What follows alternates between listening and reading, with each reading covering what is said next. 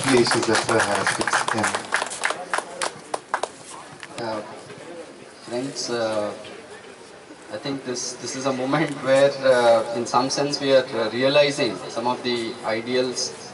Uh, this is a process that's inevitable. Uh, so, in that sense, uh, I think this is the substance of the whole celebration of life of Dr. B. R. Ambedkar. And I'm sure that uh, we will be able to uh, establish a certain kind of a tradition of struggle. Uh, and it's always tough to uh, change the social order.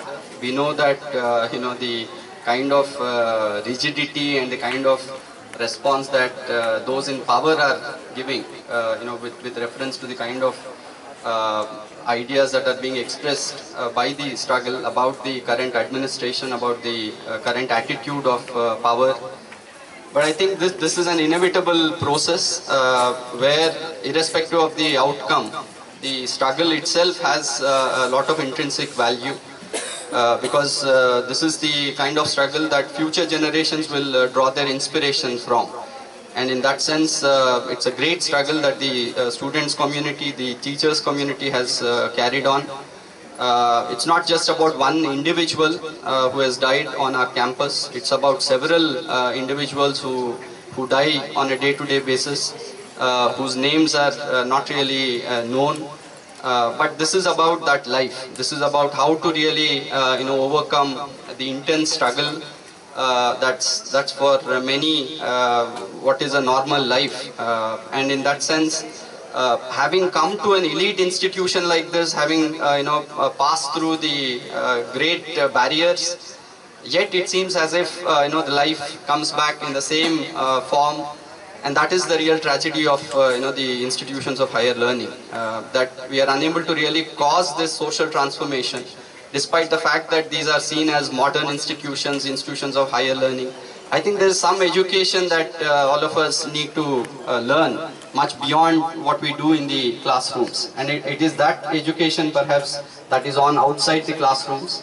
And it's a constant learning that we need to make more to unlearn things that we have uh, you know picked up uh, the kind of attitudes, the kind of uh, you know prejudice, uh, the kind of exercise of arbitrary power uh, with respect to the way that uh, you know our students were punished despite the fact that there was no evidence.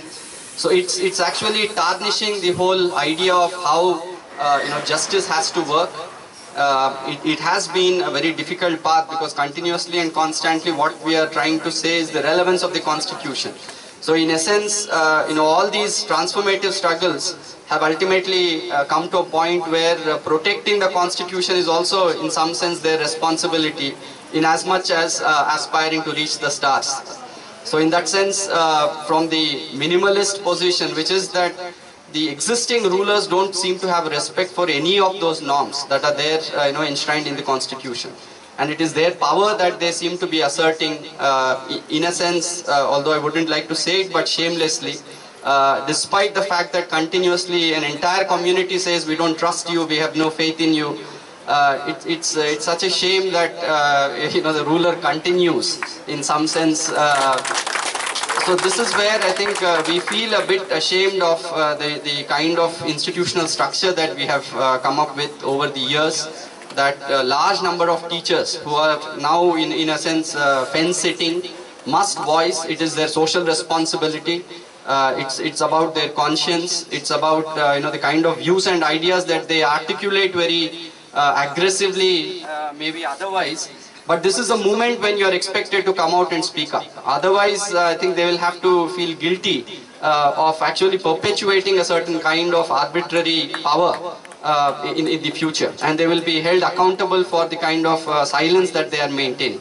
And I think this uh, is a moment when uh, we, we ask for those voices to come out in the open and uh, join the movement. Thank you very much.